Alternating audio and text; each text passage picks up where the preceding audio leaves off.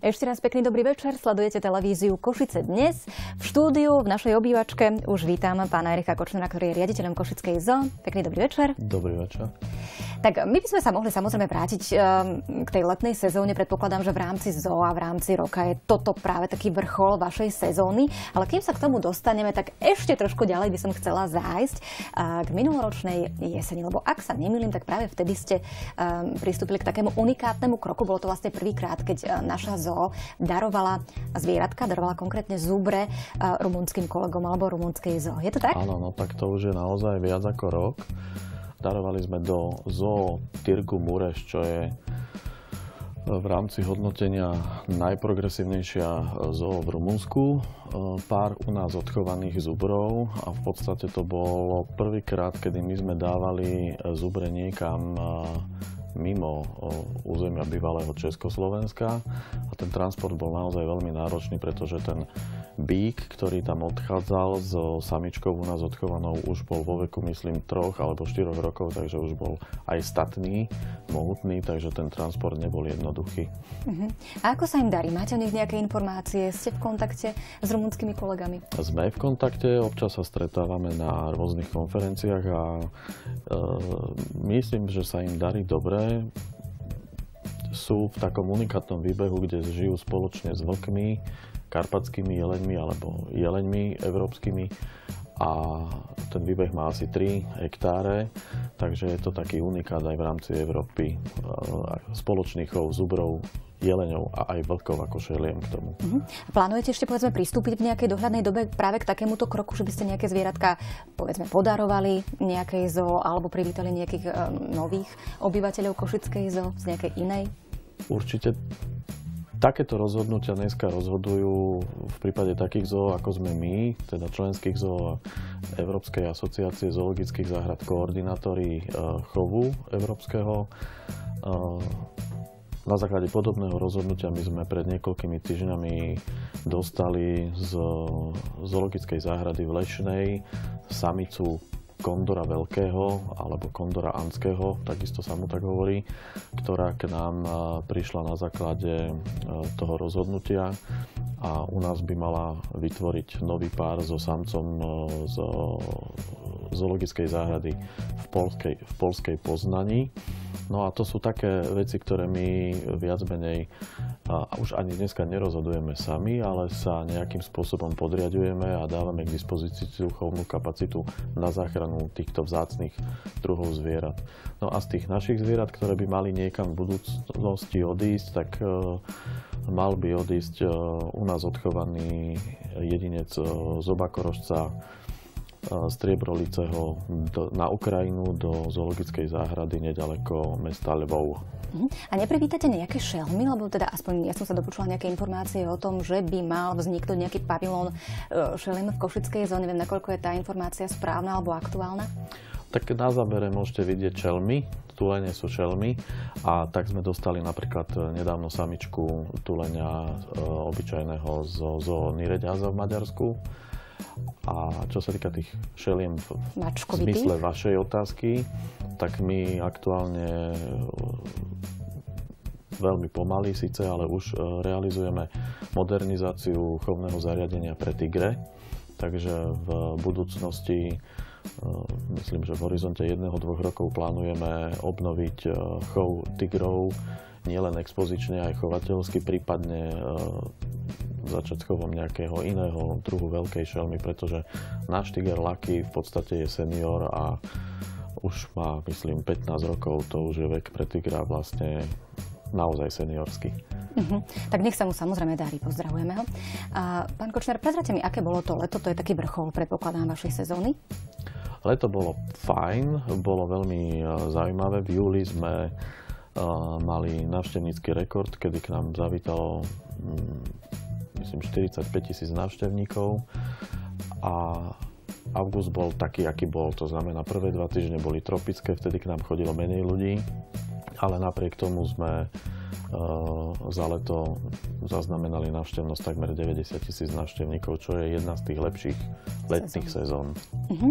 Pokiaľ sa nemýlim, tak pred pár dňami, neviem, možno 10 dní je tomu, ste mali také veľké mecheche um, v Košickej zoo, festival maskotov. Ako ano, to dopadlo? Piatý ročník to už bol, tuším. Je, bol to už piatý ročník a ja sa vždycky tak uh, divím, keď e, sa stretneme s pánom e, riaditeľom Švarcom e, z organizácie Tramtária, že každý rok to má taký úspech mm-hmm. a že každý rok sa na to pripravujú a majú záujem v tom pokračovať. Naozaj každý rok do tej zoo príde viac tých maskotov a tie detičky ako dorastajú, tak je to niečo, čo ich fascinuje. Je to z hľadiska návštevnosti jeden z najúspešnejších dní vôbec v roku. V minulom roku bol dokonca úplne najúspešnejší. Tohto roku k nám prišlo cez 5,5 tisíc ľudí počas tohto dňa, čo je naozaj úctyhodné číslo. A v, tom, v takýto čas máte pocit, že tá Košická zoo patrí medzi také svetové zoologické záhrady, lebo toľko ľudí sa tmolí počas dňa v Moskve alebo v Budapešti v zoologickej záhrade. Mm-hmm. Takže je to veľmi pekné a čo mňa mimoriadne teší, v takýto deň sa k nám uh, vyberú rodiny s deťmi naozaj z celého Slovenska, nie len z východu, ale z celého Slovenska, dokonca z prihraničných regiónov v Maďarsku a v Polsku, čo je tiež pre nás také by som povedal, veľmi povzbudivé v tej našej práci. To povzbudivé a určite to teda treba zdôrazniť a vyzdvihnúť je aj tá informácia, že toto podujatie má charitatívny rozmer? Určite áno. Určite áno. Eh, je to podujatie, kedy vlastne eh, sa tam koná niekoľko takých veľmi zaujímavých charitatívnych akcií alebo vzdelávacích akcií.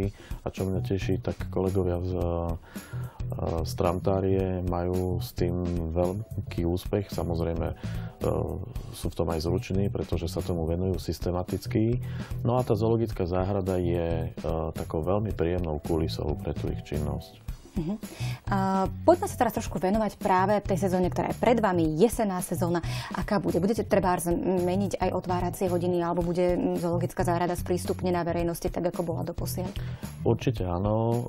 Čo je veľmi zaujímavé, tak e, všeobecné povedomie o tom, ako je zoo otvorená stále, je veľmi chabé.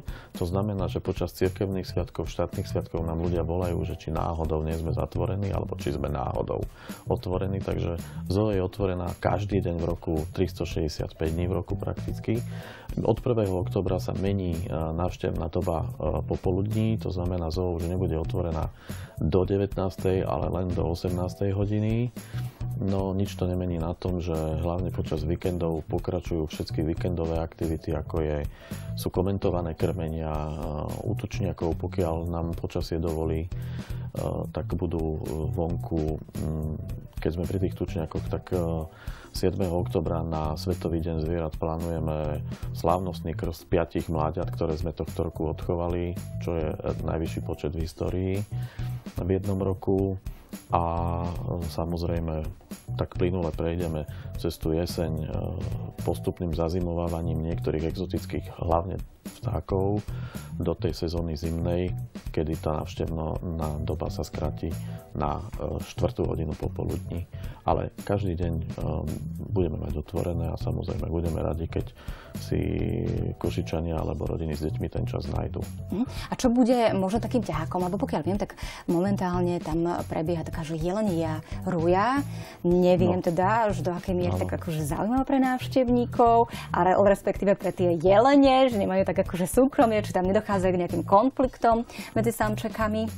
No ani nie, lebo my máme jedného samca mm-hmm. v mhm. stáde aktuálne Eh, samozrejme tohto roku aj v súvislosti s výkyvmi počasia tá jelenia ruja je taká veľmi uh, silná, zvláštna, pomerne skoro začala a navštevníci obdivujú toho samca, ktorý je, myslím, 20 rák a je to typický karpatský jeleň. Uh, v tomto období je to vlastne najväčšia hviezda, by sme mohli mm-hmm. povedať v tom areáli. No ale nás čaká budúci týždeň veľmi náročný transport keď dovezieme k inému druhu jeleňov, k sibírským vapity, samca zo zo Berlín, konkrétne z Týr Parku Berlín, bývalý východný Berlín, kde nás čaká veľmi ťažký transport 7-ročného samca, kde už kolegovia ho na ten transport pripravili tým, že mu myslím odrezali časť parohov, aby vošiel do bedne Fúha. a aby ešte stihol tú tohto ročnú ruju, aby sme na rok sa prípadne tešili z mláďat, e, pretože to sú zvieratá, ktoré chová len 9 zoologických záhrad mimo, mimo Ruska na svete. Skutočne veľmi vzácný druh jelenia. Ešte by ma takisto vlastne zaujímalo, čo sa, čo sa zmenilo. Aspoň teda pokiaľ viem, tak vy ste sa už tak dostali trošku viac k verejnosti, aj na tie sociálne siete, tak aj o tom by ste nám mohli trošku niečo povedať? Áno, tak e, aj my sme na Facebooku napríklad a pomerne úspešne. E, ľudia e, veľmi často nám komentujú rôzne udalosti alebo rôzne narodenia mláďat, prípadne aj nejaké úhyny alebo veci, s ktorými nie sú spokojní ktoré častokrát nevieme ani ovplyvniť, napríklad dojazdovú komunikáciu do Kavečian. A momentálne eh, od augusta beží skúšobná prevádzka Smart Zoo, to znamená už aj v Košickej zoo ako prvej na Slovensku si e, môžu návštevníci načítať cez QR kód informácie o zvieratách z menoviek a budeme tam postupne doplňať rôzne zaujímavosti, e, novinky a rôzne informácie, ktoré sa bežne v tom areáli z tých menoviek e, u tých zvierat nedozvedia.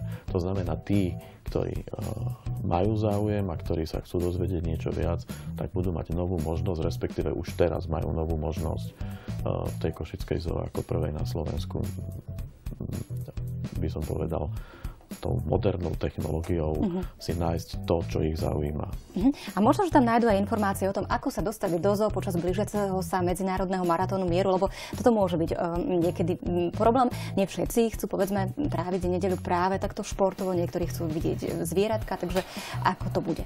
Určite. E, to je deň, ktorý vlastne je pre nás ako pre zoologickú záhradu taký zaťažkávajúci, pretože dojazdová komunikácia do zoo koliduje s trasou maratónu to je Vodárenská ulica, Hlinková ulica no, pre príjazd od Prešova alebo z diálnice. No ale mestom pôjde obchádzková trasa cez Vocnovu a potom cez Čerbel poza štadión Lokomotívy, tak ja pevne verím, že tí, ktorí sú domáci, tak si to naštudujú na internete. Plánujeme zveriť, e, zverejniť tú obchádzkovú trasu aj na internetovej stránke, aj na Facebooku ZOO aby sme nejakým spôsobom uľahčili ten dojazd tým e, turistom, pretože e, v deň, kedy je maratón mieru, tak strašne veľa cudzincov, respektíve ľudí zo Slovenska, ktorí prídu do Košic kvôli behu, tak sa zastavia veľmi často aj v zoologickej záhrade. Jasne. Pán Kočnár, ďakujem vám za návštevu, ďakujem, ďakujem vám za informácie a verím, že sa čoskoro možno o niekoľko týždňov vidíme opäť práve v našom štúdiu. Majte sa, dovidenia. Ďakujem veľmi pekne za pozvanie, pekný večer ešte.